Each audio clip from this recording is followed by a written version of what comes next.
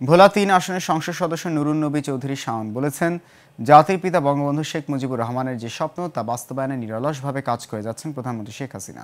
দেশ ও দেশের মানুষের উন্নয়নে ইতিমধ্যে বড় বড় প্রকল্প গ্রহণ করে তা বাস্তবায়ন করেছেন সরকার প্রধান।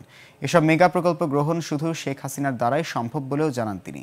ভোলার লালমোহন ও তজুমুদ্দিন উপজেলার নদী ভাঙন রোধে জাতীয় অর্থনৈতিক পরিষদের নির্বাহী কমিটির এক হাজার ছিয়ানব্বই কোটি ষাট লাখ টাকার প্রকল্প পাশ হওয়ায় এক আলোচনা সভায় তিনি এসব কথা বলেন।